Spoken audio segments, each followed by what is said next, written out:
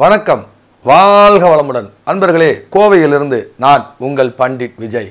நிறையா ஜோதிடம் சார்ந்த சித்தாந்தங்களை பதிவிட்டு கொண்டு வருகிறோம். வித்தியாசமான பரிகார முறைகளை சொல்லிக்கிட்டு வர்றோம். இந்த திதிசூன்ய கோயில்களை பரிகாரம் சொல்லும் பொழுது இந்த தசமி திதி விடுபட்டு போனதனால் நிறைய அன்பர்கள் கமெண்ட்டில் பதிவிட்டதுனால அதை இன்னைக்கு பதிவிடலாம்னு நினைக்கிறோம். ஸோ தசமி திதியில் தேய்பிரையில் பிறந்தாலும் சரி வளர்பிறையில் பிறந்தாலும் சரி தசமி திதியில் பிறந்தவர்கள் தேய்பிரையில் பிறந்தவர்கள் வளர்பிறைக்கு போகணும்.